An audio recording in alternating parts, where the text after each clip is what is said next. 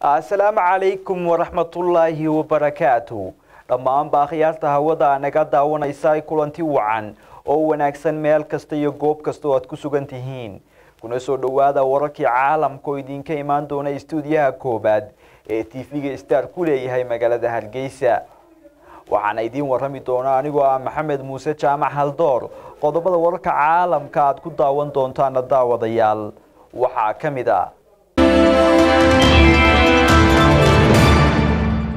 musharaxa madaxweyne ee xisbiga muxaafidka ee kulmiye. Mudane muuse biixi cabdi ayaa waxa uu gaadhay magaalada gabiley ee xarunta gobolka gabiley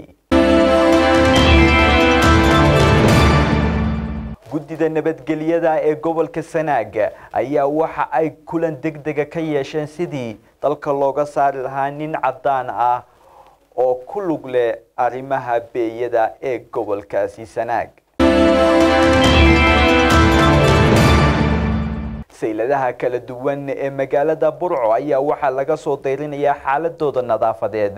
Kadib markii ay ka buuxsameen qashin fara badani. Xubnihii golaha guurtida ee loo diray degmada ceelaf weyn halkaasi oo uu dagaal ku dhex marayay laba beelood oo walaalo ah ayaa waxa ay soo afmeereen oo ay nabad dhex dhigeen dagaalkii u dhexeeyey labada beelood ee wada dega deegaankaasi ceelaf weyn.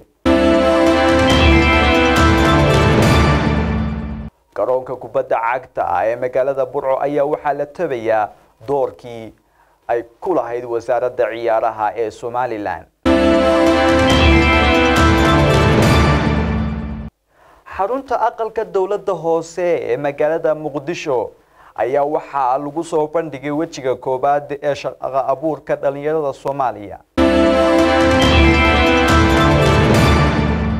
Wararka caalamkana waxaad ku daawan doontaan waxaanu idiin haynaa warbixinihii ugu dambeeyey xaaladda dadka muslimiinta ah ee qabiilka rohingaha loo yaqaano ee wadankaasi barma oo ayaamihii ugu dambeeyey farabaas ay ku hayaan ciidanka nabadgelyada ee dalkaasi barma khiyaarta awada nagala xidhiidha. Intaasi waa qodobada wararka caalamka kuwooda ugu doorka roon leh qodobada iyo qodobo kale faahfaahinteeda intaynaan u gelin ku soo dhowaada qadar xayeysiisa